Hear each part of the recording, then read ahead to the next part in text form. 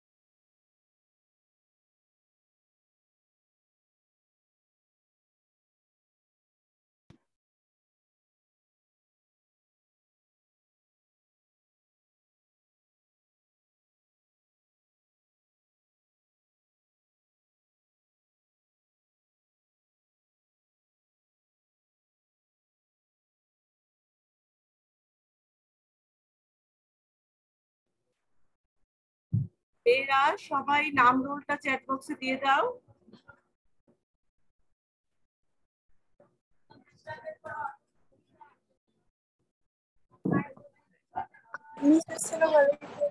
ওয়ালাইকুম আসসালাম। আচ্ছা এই সপ্তাহে আমার আলহামদুলিল্লাহ ভালো আছি।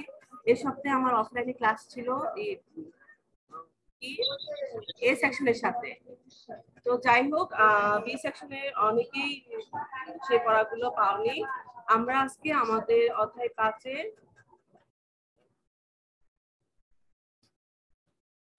আমরা পার্ট দুই নিয়ে আলোচনা করেছিলাম। ক্লাসে ধর্মান্তরতা পর্যন্ত পড়ানো হয়েছিল। আজকে আমরা দাম্ভিকতা নিয়ে আলোচনা করব।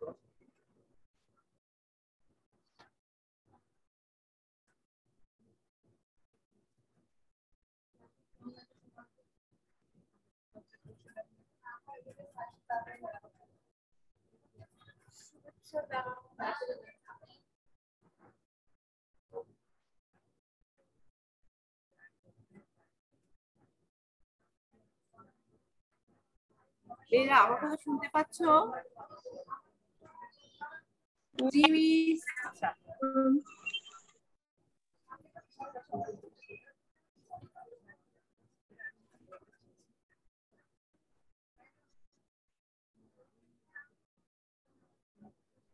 সানজিদা সানজিদা পড়ো তো। জি মিস পড়ো দাম্ভিকতা এটি একটি নেতিবাচক চারিত্রিক বৈশিষ্ট্য। এর ফলে ব্যক্তি নিজেকে অন্যের চেয়ে অনেক বড় করে দেখে অন্যের মতামতকে গুরুত্ব দেয় নিজের মতামত অন্যের উপর চাপিয়ে দিতে চায়। এ ধরনের মানসিকতা সুনাগরিকতার পথে বিরাট বাধা। সাম্প্রদায়িকতা।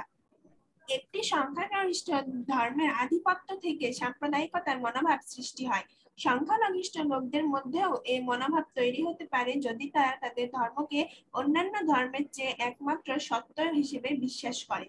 ফলে দেশে বিভিন্ন সম্প্রদায়ের মধ্যে বিভেদ ও অশান্তি বিরাজ করে। অর্থনৈতিক অন- অনগ্রসরতা। বাংলাদেশ একটি উন্নয়নশীল দেশ। এদেশে পঞ্চাশ ভাগ লোক দারিদ্র্য সীমার নিচে বসবাস করে। দারিদ্র্যের কারণে আমাদের দেশে প্রায় এক তৃতীয়াংশ লোক লিখতে পড়তে পারে না। ফলে তাদের বুদ্ধিমত্তার যথাযথ বিকাশ হয় না। তাদের বিবেকও সঠিকভাবে কাজ করে না যা সুনাগরিকতা অর্জনের জন্য একটি অন্যতম বাধা। আচ্ছা। আমরা আহ, সানজিদা তোমাকে অনেক ধন্যবাদ। আহ, দাম্ভিকতা সাম্প্রদায়িকতা অর্থনৈতিক অনগ্রসরতা নিয়ে বলল তারপরে কি যেটা মানে আমরা যেটা বুঝব সাধারণভাবে সেটা হচ্ছে যে নিজেকে অন্যের যে বড় করে দেখব না। এটা হচ্ছে বড় কথা। আর হচ্ছে অন্যের মতামতকে কি দিব আমরা? গুরুত্ব দিব। নিজের মতামতকে অন্যের উপর চাপিয়ে দিব না। যদি এই বিষয়গুলো করি, সেটাকে বলা হচ্ছে দাম্ভিকতা যদি এর অপোজিট আমরা কিছু করে থাকি, তাহলে সেটাকে আমরা দাম্ভিকতা বলে থাকি। তার মানে দাম্ভিকতা বলতে আমরা কি বুঝতে পারছি? যে অন্যের চেয়ে নিজেকে বড় করে দেখব, এক নম্বর পয়েন্ট অন্যের মতামতকে গুরুত্ব দেব না। দুই নম্বর পয়েন্ট তিন নম্বর পয়েন্ট হচ্ছে নিজের মতামতকে অন্যের উপর চাপিয়ে দিব। এই তিনটা বৈশিষ্ট্য যার মধ্যে থাকবে, তাহলে আমরা বুঝব যে তার মধ্যে কি রয়েছে, দাম্ভিকতা রয়েছে। তাহলে আমরা যখন একজন নিজেকে সুনাগরিক হিসেবে করে তুলবো, তখন এই বিষয়গুলো আমরা এড়িয়ে চলবো। সাম্প্রদায়িকতা আসে। একটি সংখ্যাগরিষ্ঠ ধর্মের আধিপত্য থেকে সাম্প্রদায়িকতার মনোভাব তৈরি হয়। সংখ্যালঘিষ্ঠ লোকদের মধ্যেও এই মনোভাব তৈরি হতে পারে যদি তাদের ধর্মকে অন্য ধর্মের চেয়ে একমাত্র সত্য হিসেবে বিশ্বাস করে তার মানে এটা হচ্ছে দু-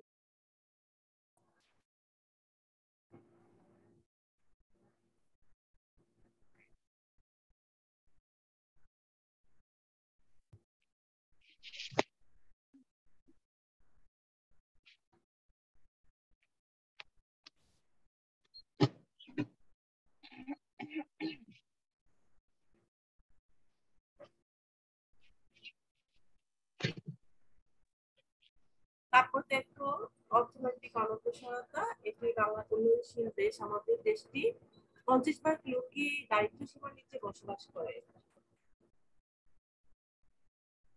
দারিদ্রের কারণে আমাদের দেশে প্রায় এক তৃতীয়াংশ লোক লিখতে পড়তে পারে না। গত ক্লাসেও আমি আলোচনা করেছিলাম যে তিন ভাগের এক অংশ হচ্ছে আমাদের নিরক্ষর আমাদের দেশের লোক। তাদের বুদ্ধিমত্তার সাথে যথাযথ বিকাশ হয় না, তাদের বিবেক সঠিকভাবে কাজ করতে পারে না। সুনাগরিকতা অর্জনের জন্য এটা একটা বাধা। আমি বলেছিলাম তারা কোনো সিদ্ধান্ত নিতে পারে না। গুরুত্বপূর্ণ যে কোনো সিদ্ধান্ত সেটি নিতে পারে না। তাহলে অর্থনৈতিক অনগ্রসরতার এটা একটি অন্যতম বাধা হচ্ছে নিরক্ষরতা। তাহলে একটি দেশের রাষ্ট্রের রাষ্ট্রকে মানে রাষ্ট্রের জনগণকে অবশ্যই কি করতে হবে? সুশিক্ষায় শিক্ষিত হতে হবে। তাহলে অর্থনৈতিক ভাবে আমরা কি হব? সমৃদ্ধশালী হব। নাগরিকের প্রতিবন্ধকতা দূরীকরণের উপায়। আমরা এর আগে জেনেছিলাম প্রতিবন্ধকতা গুলো এখন আমরা জানব এই দূরীকরণের উপায়গুলো।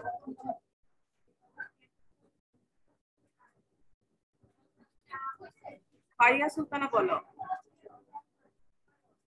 ফারিয়া সুলতানা শুনতে পাচ্ছ?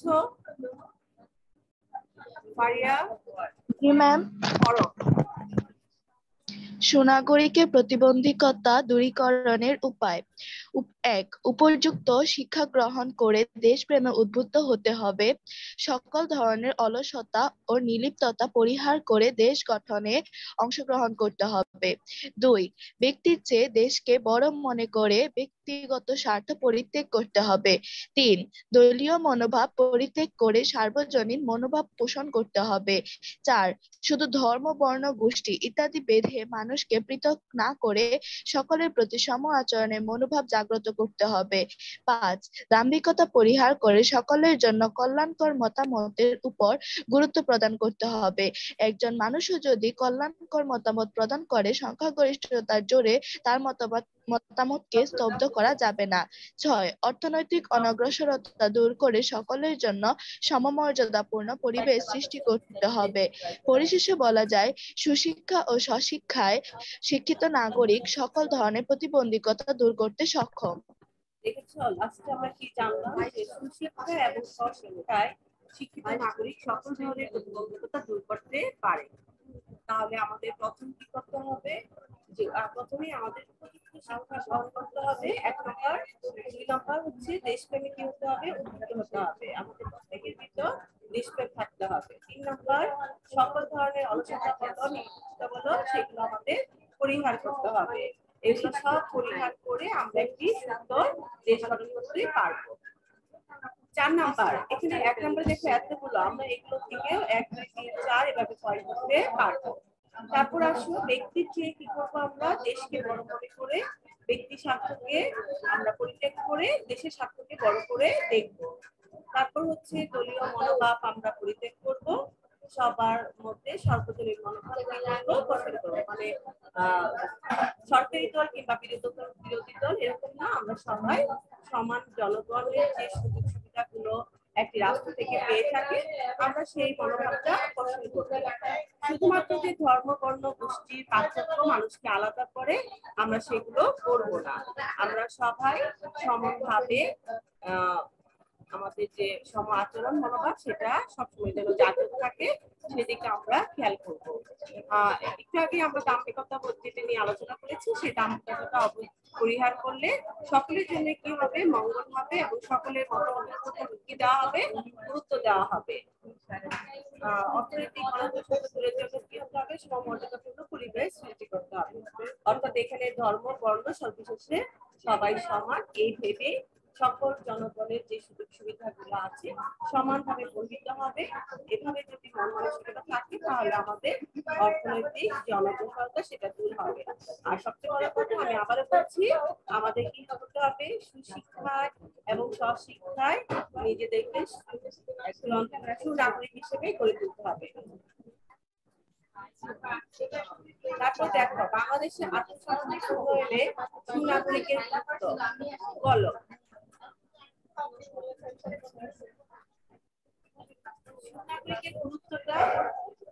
ম্যাম, স্বশিক্ষা কি? নিজ শিক্ষিত হবে এবং সেটা সুশিক্ষায় শিক্ষিত হতে হবে। আমি সবসময় বলে থাকি একটি কথা, শিক্ষা হচ্ছে দুই ধরনের। একটা হচ্ছে কুশিক্ষা আর একটা হচ্ছে সুশিক্ষা। আমরা নিজেরা সুশিক্ষায় নিজেদেরকে কি করব? শিক্ষিত করে গড়ে তুলবো। এখন আসো বাংলাদেশে আর্থসামাজিক উন্নয়নে সুনাগরিকের গুরুত্ব।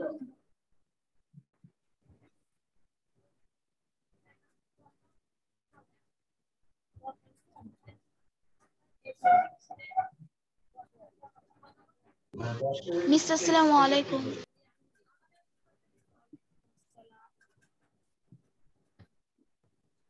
আচ্ছা রোল পাঁচ। পাঁচ জয়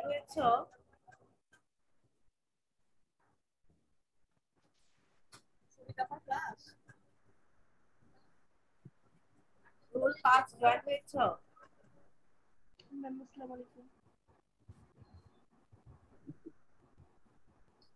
চার? নো ম্যাম আজকে জয়েন হয়নি। চার জন হয়েছ?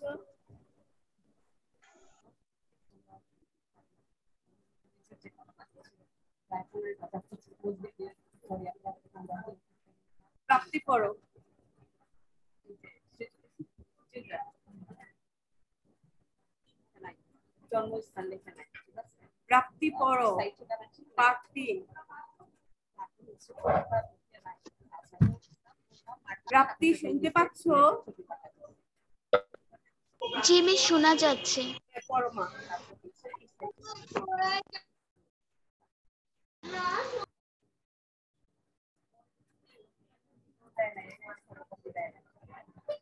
ঠিক আছে, সাদিয়া পড়ো রোল এক ওকে ম্যাম পাঠ তিন, বাংলাদেশের আর্থ সামাজিক উন্নয়নের সুনাগরিকের গুরুত্ব। একটি উন্নয়নশীল দেশ হিসেবে বাংলাদেশে বিভিন্ন ধরনের আর্থসামাজিক সমস্যা রয়েছে। এগুলোর মধ্যে উল্লেখযোগ্য হলো নিরক্ষরতা, বেকারত্ব, দারিদ্র, দুর্বল অর্থনীতি ও আইন শৃঙ্খলা পরিস্থিতি, দুর্নীতি, অধিক জনসংখ্যা ইত্যাদি। প্রতিযোগিতামূলক বর্তমানে বর্তমান বিশ্বে বাংলাদেশকে একটি উন্নত রাষ্ট্র হিসেবে প্রতিষ্ঠিত করতে হলে এই সকল সমস্যার সমাধান অপরিহার্য। কিন্তু সরকারের একার পক্ষে এসব সমস্যার সমাধান করা সম্ভব নয়। এজন্য নাগরিকদের সক্রিয় ভূমিকা পালন করতে হবে।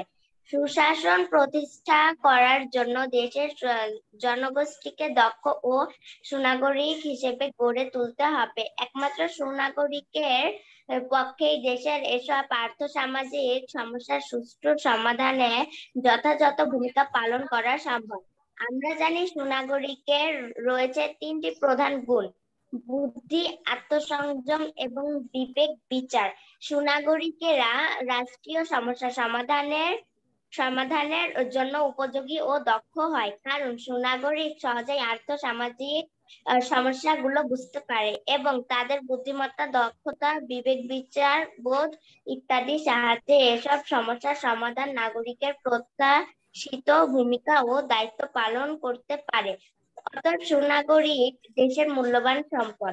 সুনাগরিক বিভিন্ন সমস্যা ও প্রতিবন্ধকতা দূরীকরণের মাধ্যমে সমাজ ও সরকারের সঠিক পথে পরিচালিত আত্মনির্ভরশীল ও একটি উন্নত দেশ হিসেবে প্রতিষ্ঠা করতে পারে। ধন্যবাদ তোমাকে। তাহলে দেখো যে আর্থসামাজিক উন্নয়নে সুনাগরিকের গুরুত্ব। এগুলোর মধ্যে উল্লেখযোগ্য হচ্ছে কি, নিরক্ষরতা, বেকারত্ব, দারিদ্র, দুর্বল অর্থনীতি আইন শৃঙ্খলা পরিস্থিতি, দুর্নীতি, অধিক জনসংখ্যা, এইগুলো হচ্ছে আমাদের বড় অন্তরায়। এগুলো থেকে আমাদের কি করতে হবে? বেরিয়ে আসতে হবে। প্রতিযোগিতামূলক এখন বর্তমান বিশ্বে বাংলাদেশকে একটা উন্নত রাষ্ট্র হিসাবে গড়ে তুলতে হলে এই সমস্যাগুলোর সমাধান খুবই গুরুত্বপূর্ণ। সরকারের একার পক্ষে বলা হচ্ছে এটা সম্ভব না। এই নাগরিকের সক্রিয় ভূমিকা পালন করতে হবে। সুশাসন প্রতিষ্ঠার জন্য দেশের জনগোষ্ঠীকে দক্ষ হতে হবে এবং নিজেদেরকে সুনাগরিক হিসেবে গড়ে তুলতে হবে।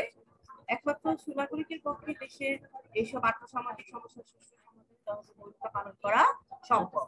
তাহলে আমরা সুনাগরিকের কি বৈশিষ্ট্য পেয়েছিলাম? যে একটি হচ্ছে মানে যে যে বৈশিষ্ট্যগুলো অর্থাৎ গুণগুলো একজন নাগরিকের উপর থাকবে তাকে সুনাগরিক হিসেবে বিবেচনা করা হবে। একটি হচ্ছে বুদ্ধি, এক নম্বর। দুই নম্বর হচ্ছে আত্মসন্ধান এবং তিন নম্বর হচ্ছে বিবেক বিচার। সুনাগরিকেরা রাষ্ট্রের সমস্যা সমাধানের জন্য উপযোগী এবং দক্ষ হবে, কারণ সুনাগরিক সহজেই আর্থসামাজিক সমস্যাগুলো বুঝতে পারবে এবং তাদের বুদ্ধিমত্তা, দক্ষতা, বিবেক বিচার দিয়ে সেই সমস্যাগুলো কি করবে? সম- সমাধান করবে। এটা প্রত্যেকটা নাগরিকের প্রত্যাশা। সুনাগরিককে দেশের মূল্যবান সম্পদ হিসেবে বিবেচনা করা হয়। সুনাগরিক বিভিন্ন সমস্যা ও প্রতিবন্ধকতা দূরীকরণের মাধ্যমে সমাজ এবং সরকারকে সঠিক পথে কি করছে, পরিচালিত করবে, আত্মনির্ভরশীল হিসেবে গড়ে তুলবে এবং একটা উন্নত দেশ হিসাবে প্রতিষ্ঠিত করবে।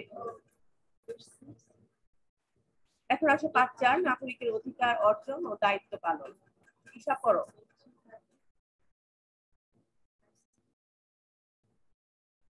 মিস আমার তখন নেটওয়ার্কের প্রবলেম হচ্ছিল তো এই জন্য আমি আচ্ছা, বুঝতে পারিনি আচ্ছা। আপনার হ্যাঁ ঠিক আছে প্রাপ্তি পরে পড়ো আগে ঈশা পড়ো ঈশা শুনতে পাচ্ছো? জি ম্যাম শুনতে পাচ্ছি হ্যাঁ, পড়ো। চার নাগরিকের অধিকার অর্জন ও দায়িত্ব পালন। বিশ্বের সব দেশে নাগরিক রাষ্ট্রের কাছ থেকে বিভিন্ন ধরনের অধিকার ভোগ করে। বিনিময়ে নাগরিককে ও রাষ্ট্রের প্রতি কিছু দায়িত্ব ও কর্তব্য পালন করতে হয়।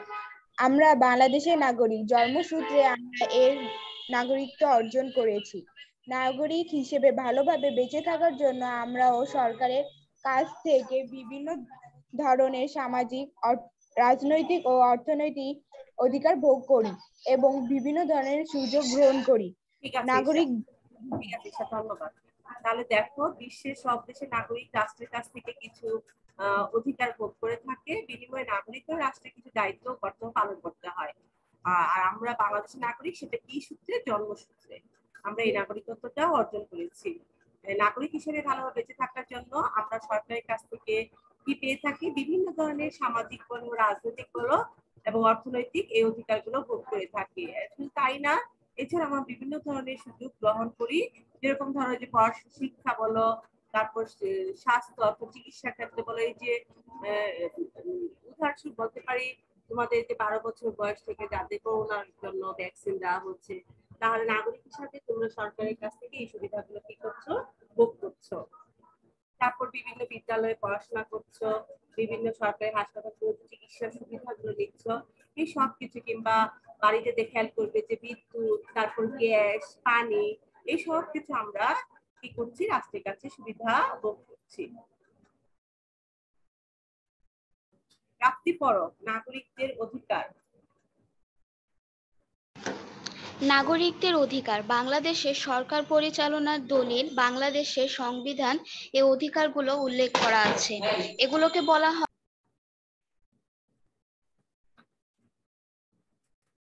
মিস আমার বাসায় অনেক নয়েজ হচ্ছে তো আমি না হয় ঠিক থাকব বুঝতে পেরেছি। ম্যাম এটা আমি পড়ি মিসল জানাত সুরাইয়া পড়ো। নাগরিকের অধিকার। বাংলাদেশের সরকার পরিচালনার দলিল বাংলাদেশের সংবিধান এই অধিকারগুলো উল্লেখ করা আছে। এগুলোকে বলা হয় নাগরিকের মৌলিক অধিকার।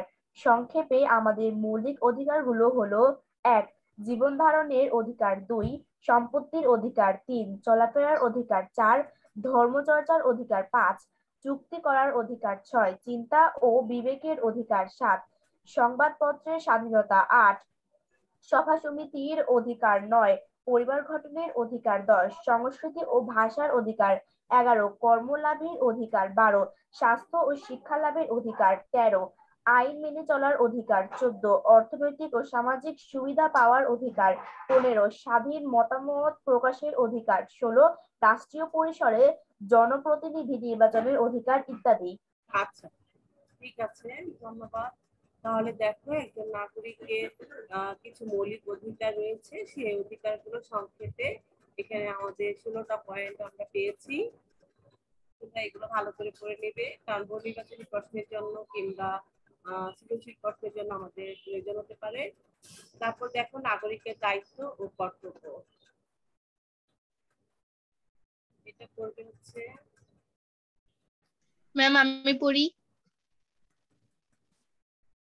ঠিক আছে বল নাগরিকের দায়িত্ব ও কর্তব্য। রাষ্ট্রের কাছ থেকে উল্লেখিত অধিকার অর্জনের পাশাপাশি রাষ্ট্রের প্রতি নাগরিকদের কতগুলো দায়িত্ব ও কর্তব্য আছে?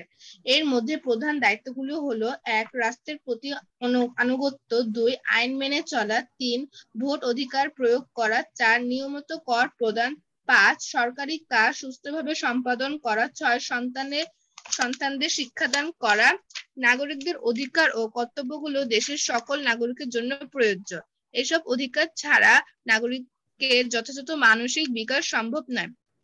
তাই নাগরিক নিজে এই অধিকারগুলো ভোগ করবে এবং অন্য নাগরিকের যাতে ভোগ করতে পারে সেজন্য সচেতন থাকবে। উদাহরণস্বরূপ, নাগরিক নিজে শিক্ষিত হবে অন্যকে শিক্ষিত করার জন্য সহায়তা দেবে। প্রত্যেক নাগরিকের নিজের ধর্ম নিজে পালন করবে। অন্যের ধর্মের লোককে তাদের নিজ ধর্ম পালনের কোনো বাধা দিবে না।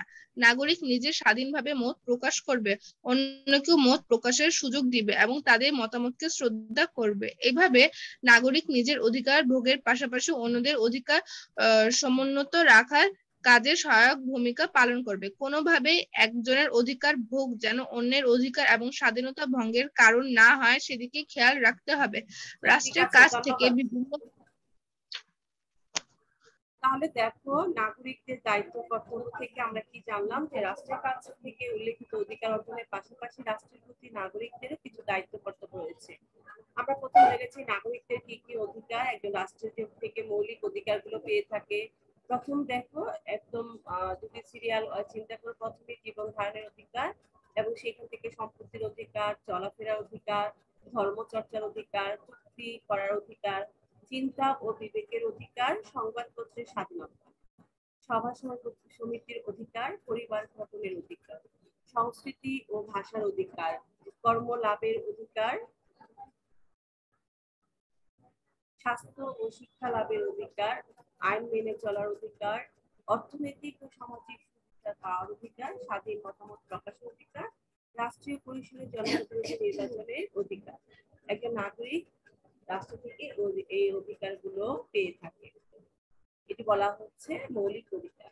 তাহলে যেরকম অধিকার রাষ্ট্রের কাছ থেকে পাবে, ঠিক তেমনি একজন নাগরিকের কিছু দায়িত্ব কর্তব্য রয়েছে রাষ্ট্রের প্রতি। সেগুলো কি হতে হবে? রাষ্ট্রের প্রতি আনুগত্য হতে হবে।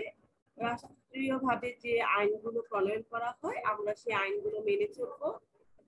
ভোটাধিকার প্রয়োগ করা যখন নির্বাচন হবে, তখন আমাদের নিজেদের যে যে নির্ধারিত যে বুথগুলো আছে, আমরা তারা নিজেদের মতামতকে সেই প্রদানের মাধ্যমে আমাদের মতামতকে সেখানে প্রতিষ্ঠিত করব।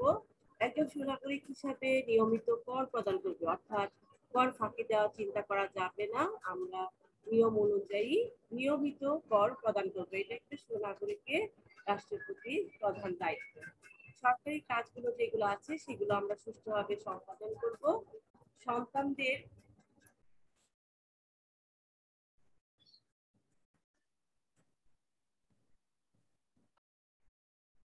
শিক্ষা দান করা, তার মানে প্রতিটি সন্তানের শিক্ষার অধিকার রয়েছে।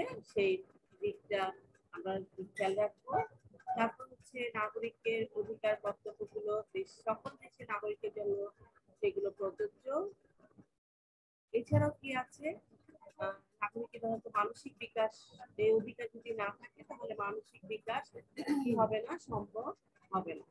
তাই নাগরিক নিজেই অধিকারগুলো ভোগ করবে এবং অন্য নাগরিকেরা যাতে ভোগ করতে পারে, সেদিকে কি হবে? সচেতন হবে। উদাহরণ আমাদের দেখো পাঠ্য বইয়ে দেওয়া আছে, সেটি হচ্ছে নাগরিক নিজে শিক্ষিত হবে এবং অন্যকে শিক্ষিত করার কাজে সহায়তা দিবে। প্রত্যেক নাগরিক নিজের ধর্ম নিজে পালন করবে, অন্যের ধর্মের লোককে তাদের নিজ পালনে কোনো বাধা দিবে না। নাগরিক নিজে স্বাধীনভাবে মতামত প্রকাশ করবে আর অন্যের মতামত প্রকাশের ভিত্তিতে সুযোগ দিবে এবং তাদের মতামতকে শ্রদ্ধা করবে। এভাবেই নাগরিক নিজের অধিকার ভোগের পাশাপাশি অন্যদের অধিকার সমুন্নত রাখার জন্য সহায়ক ভূমিকা পালন করবে। কোনোভাবে একজনের অধিকার যেন অন্যের অধিকার এবং স্বাধীনতা ভঙ্গের কারণ না হয়, সেদিকে কি করতে হবে? আমাদের প্রত্যেকেরই খেয়াল রাখতে হবে।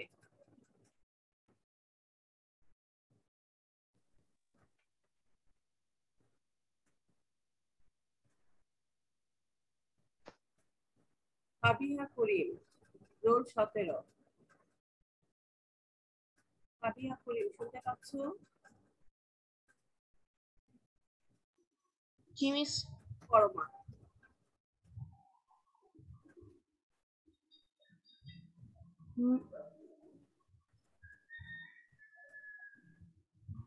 রাষ্ট্রের কাছ থেকে এখান থেকে পড়ো রাষ্ট্রের কাছ থেকে বিভিন্ন অধিকার ভোগের পাশাপাশি নাগরিক নিজ দায়িত্ব ও কর্তব্য পালনের সক্রিয় ভূমিকা পালন করে। আজকাল রাষ্ট্রের উন্নয়নে অধিকার ভোগের চেয়ে নাগরিকের কর্তব্য পালনের উপর বেশি গুরুত্ব দেওয়া হয়। নাগরিককে তাই নিজের কর্তব্যগুলো ভালোভাবে জানতে ও বুঝতে হবে।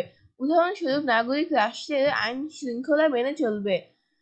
কর্মক্ষেত্রে নিজ দায়িত্ব যথাযথভাবে পালন করবে। সন্তানের উপযুক্ত শিক্ষায় শিক্ষিত করবে এবং রাষ্ট্রের উন্নয়নে সহায়ক সব ধরনের কাজে সহযোগিতা ও সক্রিয়ভাবে অংশগ্রহণ করবে। করবে প্রকৃতপক্ষে নাগরিকের কর্তব্য পালনের মাধ্যমে রাষ্ট্রের প্রকৃত উন্নয়ন সম্ভব।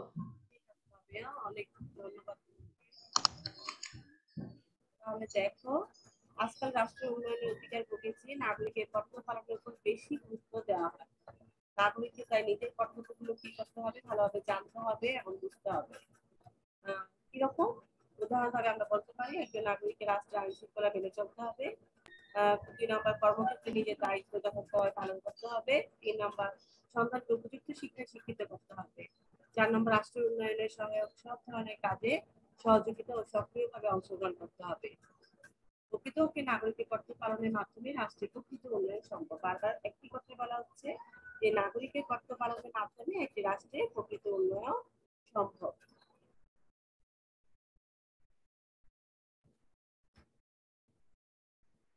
দেখো একজন নাগরিকের কয়েকটি মৌলিক গুণের অধিকারী হতে হয়। কয়টি বলতো তিনটি।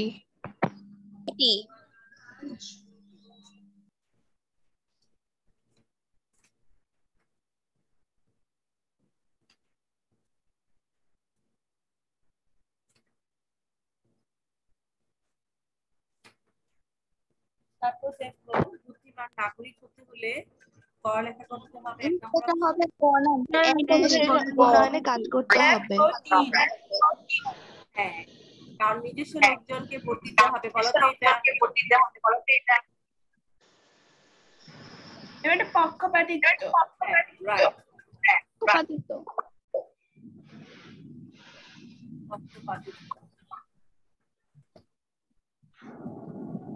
বলো তো উদ্দীপকটা তবু রিক্সায় যাচ্ছিল। হঠাৎ সে দখল একটি গাড়ি একজন পথচারীকে ধাক্কা দিয়ে দ্রুত পালিয়ে যাওয়ার চেষ্টা করছে দেখল। আচ্ছা ঠিক আছে তবু দ্রুত অন্যদের সহযোগিতায় ড্রাইভারকে আটকে আটকা- আটক করে পুলিশের হাতে সোপর্দ করল এবং আহত এবং আহত পথচারীকে নিকটস্থ ও হাসপাতালে নিয়ে গেল। আচ্ছা। ঠিক আছে জেবা আমার তো পরীক্ষায় যাচ্ছিল হঠাৎ সে দেখল একটা আহ, গাড়ি একজন পথচারীকে ধাক্কা দিয়ে দ্রুত পালিয়ে যাওয়ার চেষ্টা করছে। তবু দ্রুত অন্যদের সহযোগিতায় ড্রাইভারকে আটক করেছে এবং পুলিশের হাতে সোপর্দ করেছে এবং আহত পথচারীকে নিকটস্থ হাসপাতালে নিয়ে গেল। এখন আমাদের প্রশ্ন হচ্ছে তবু আচরণে মূলত প্রতিফলন ঘটেছে? বিবেক। বিবেক। খ নাম্বার। কার্যক্রম থেকে আমরা শিক্ষা নিতে পারি। তবু একজন সুনাগরিক সে বাংলাদেশের মূল্যবান সম্পদ তার মতো মানুষেরাই উন্নত দেশ গড়ে তুলতে পারবে। এটা এক দুই তিন তিনটাই তো হবে। ঠিক আছে। হবে।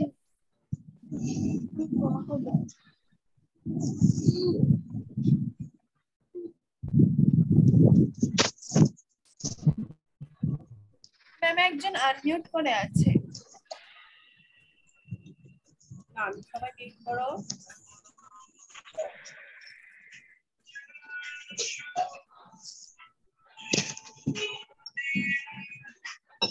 আচ্ছা হাতে বেশি এখন কি জয়েন হচ্ছে?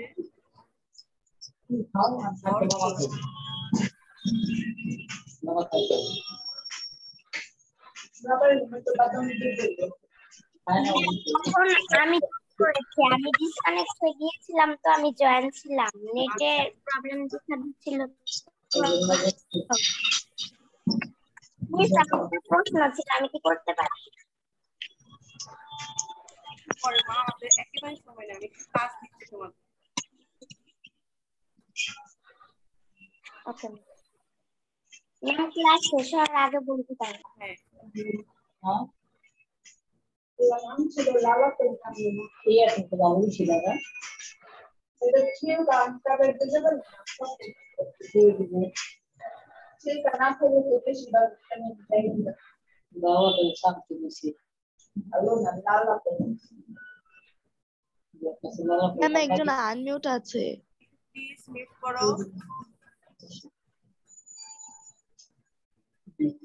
এখন আমি এটা দেখব যে আনমিট করে আছে নাকি ক্লাসে পড়াটা দেবো বলো তো?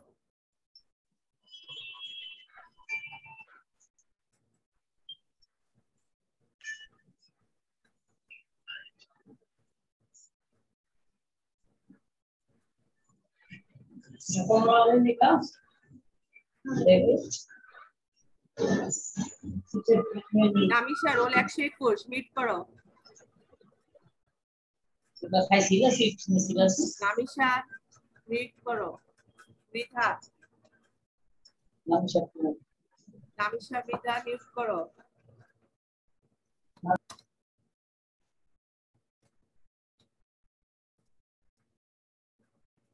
এক নম্বর প্রশ্নটা লিখো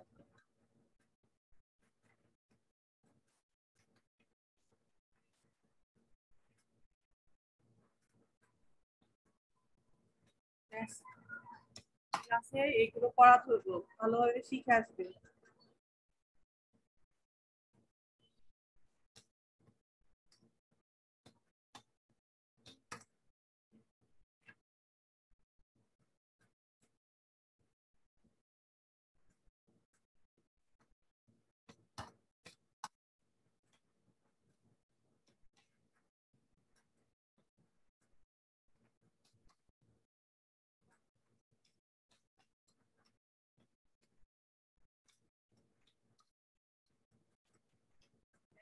নাগরিকের কি কি গুণাবলী থাকা প্রয়োজন? ব্যাখ্যা করো।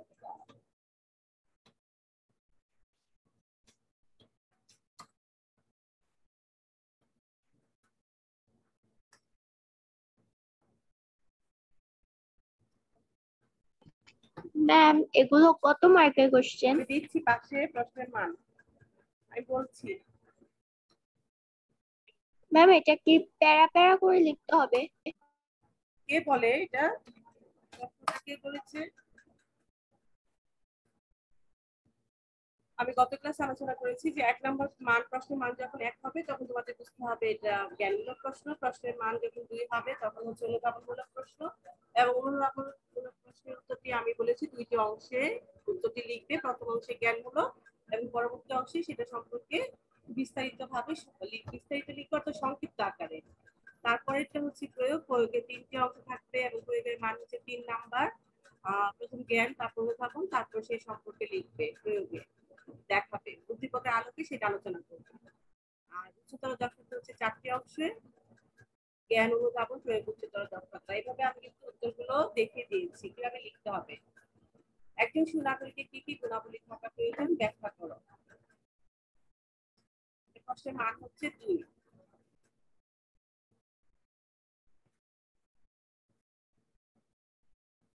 তারপর দেখো দুই নম্বর প্রশ্ন, আমি পাঁচটা অনুধাবনমূলক প্রশ্ন দিব, তোমরা এগুলো ভালো করে শিখে আসবে।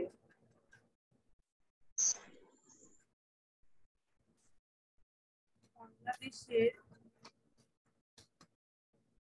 নাগরিকতার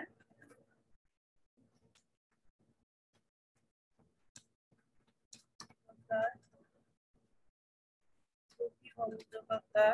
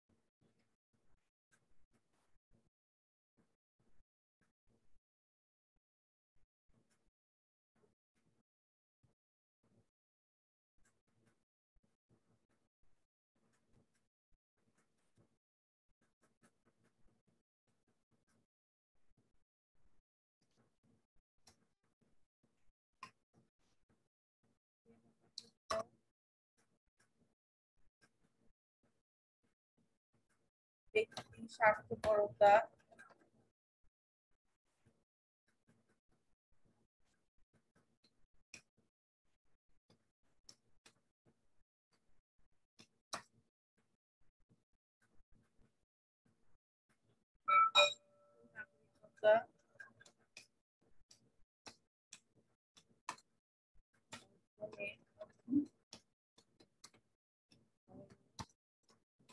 অন্তরায়।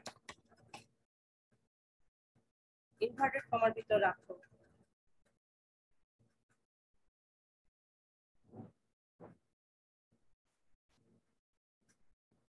ব্যক্তি স্বার্থপরতা সুনাগরিকতা অর্জনে বড় অন্তরায় ব্যাখ্যা করো।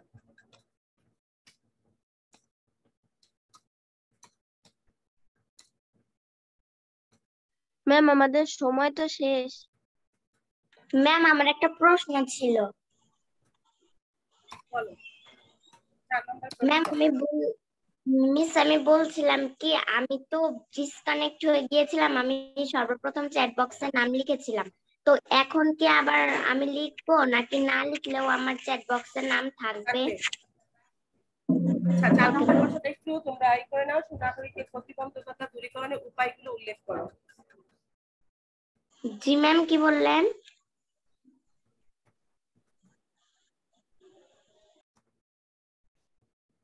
ম্যাম, কি বললেন? সুনাগরিকের প্রতিবন্ধকতা দূরীকরণের উপায়গুলো উল্লেখ করো। চার নম্বর প্রশ্ন।